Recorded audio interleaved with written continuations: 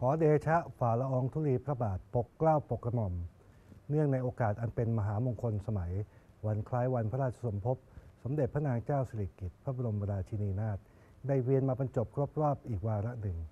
ข้าพุทธเจ้า นาวากาศเอกถากูลนาคอนทัพ ผู้บังคับการกองบิน 46 ในนามของข้าราชการ ทหารกองประจำการ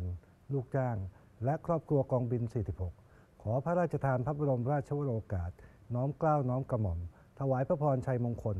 ขออนุภาพแห่งคุณพระศรีรัตนตรัยและสิ่งศักดิ์สิทธิ์ทั้งหลาย อีกทั้งอนุภาพแห่งพระสยามเทวาธิราช ได้โปรดบันดาลให้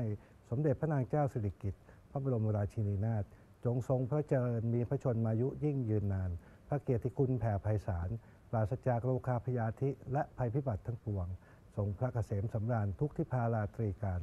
ด้วยกล้าวด้วยกระหม่อมขอเดชะ